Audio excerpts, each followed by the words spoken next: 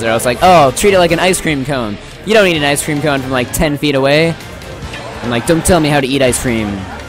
Anyway, here we go. Some real drama. You know, I, I don't actually know if there's real drama here. This is not exactly my region.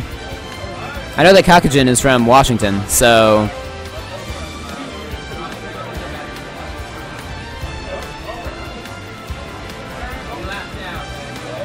Just a bit of an off-stream update. It does appear as though Big D and Firefly are defeating Timmy and Tommy.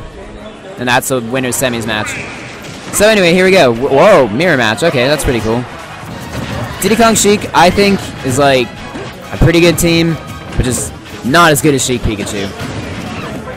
I don't know. Sheik, Sheik plus anyone is really good, because Sheik has a very uh, versatile move set. She's just so good. It's unbelievable. Anyway, relatively even. Slight advantage for the red team here.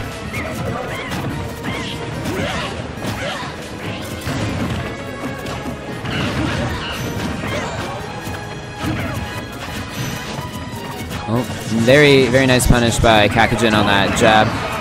Oh, an unfortunate up smash, but luckily Blue Sheik is living.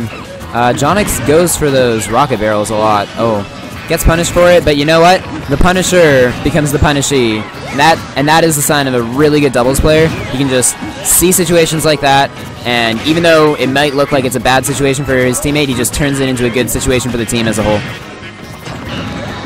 Like, right right there. Uh, Blue Sheik did the down throw, and he just, instead of letting Sheik get the full combo on his partner, he starts comboing the other Sheik. Because all Sheik's moves don't really do that much damage, but she just gets a lot of them. So, letting him take one throw in exchange for like a three-hit string, definitely a solid trade for Kakujin's team. And as we can see, all these slight trades are paying off. It is a one-stock lead for the red team right now, with percentage leads on the next stock as well. Oh, we got some funny stuff happening, almost a almost a Diddy Kong side B kill, but he was just a little bit too close to the stage. Ooh, nice ledge trump by Kakujin, not quite finishing him off.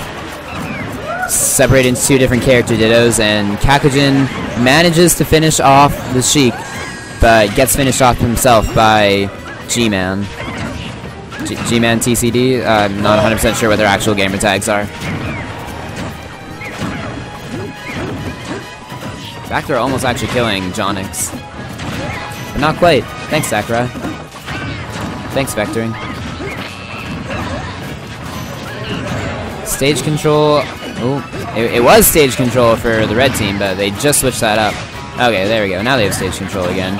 Gonna make it really tough for uh, blue team to get back on. Diddy Kong was trapped on that platform for a second. He managed to get it back. Bouncing fish going everywhere. I'm not even sure whose bouncing fish was bouncing off of what anymore. Um, Kakujin hanging out, hanging out off stage just to cover Jonix's recovery in case he didn't quite release it at the right time, but he managed to recover. Ooh, Jonix going for that very high up B. It kills so early, so I mean, it's kind of worth it to go for it. Is he going to go for the edge? No, he's going to go right for the Sheik. You know, sometimes falling right into the opponent is, is, like a pretty cool bait because, I mean, you wouldn't really expect it. When you think of trying to cover someone's options, you want to like stand still and then try to predict where they're going to land and hit that. I mean, you, you wouldn't really expect them to fall right on you. Unfortunately, the Sheik was, and he was just like, hey, I'm going to charge an smash. But it was all for naught because a very solid, convincing three stock by Kakujin and Jonix.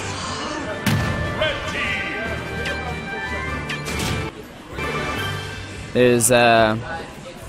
I don't know if there's going to be a character switch. I don't know if these players play other characters, but maybe the mirror matchup, not quite what they wanted. I'm not sure.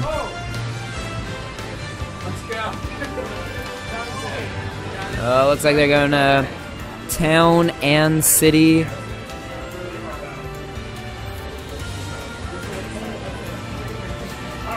Not sure, still on the character switch. Uh, Kakujin and Jonix, I'm 99% sure are going to stay. I haven't ever seen Kakujin since since he's been picking up Sheik. I haven't seen him play anything except for Sheik in bracket.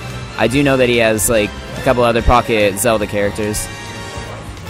And I say Zelda characters because I'm pretty sure it's like Toon Link and regular Link and Zelda. just not Ganondorf, apparently. But I mean, really, who would ever want to play Ganondorf? Oh, look at that. They do have the character switch going.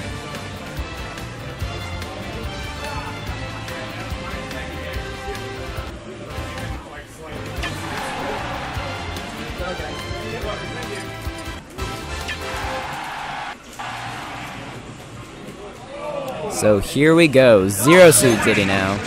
Zero Suit, another uh, lower damage, combo heavy character, kind of like Sheik. I would say Zero Suit definitely does a lot more damage per combo than Sheik does. Or at least the shorter combos that have to happen in doubles. Because, I mean, with Sheik you can't do like five forward airs all the way across the stage and then uh, bouncing fish at the side like you can in singles. Unless your partner's like really good at distracting. So far, uh, quite a bit of a lead for the for the red team right now, but you know things can definitely change. Wow, very bizarre uh, elongated kick hitbox by Zero Suit Samus. I didn't see that being as effective as it was. And we have highish percents on everyone. Just a second, I'm being called. I'm on stream!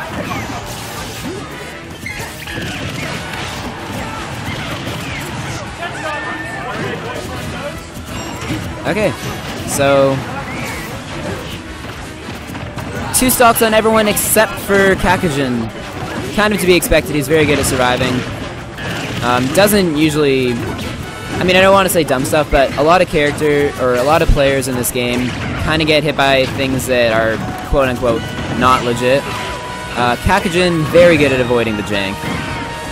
If, if you kill Kakujin, it feels good because you know that you did it in some like super legitimate way he, he's just a very smart player, that's what I'm getting at. And he does have that rage now, so he could, in fact, get a kill on either of these characters. With that low ceiling, that up air was, like, very close. The jab was apparently very close from Diddy Kong. Zero Suit trying to cover his options at the ledge. Not able to do it because Jonix was there. Now, two stocks for everyone, but of course Diddy Kong at a little bit higher percents. Oh, Zero Suit Samus just flying everywhere, killing his own teammate. It's quite unfortunate.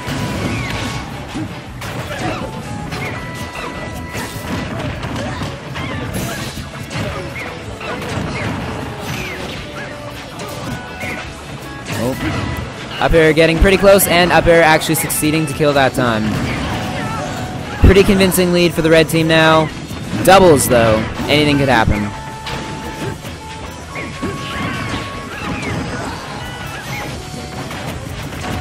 I'm not 100% sure why Jonix was charging that.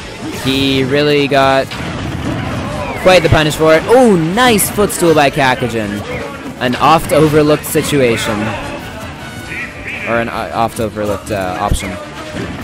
So I think that we're saying fourth throw into custom up B. Down throw into custom up B. Oh, he just wants to grab on the platform. That would have been funny. And instead, we just get Sheik bread and butter. Uh-oh. Uh-oh. Okay. Dare suicide. And there you have it. Red team, Cockaboo, advancing to the next round of losers. We are now going to have winners finals, all Canada on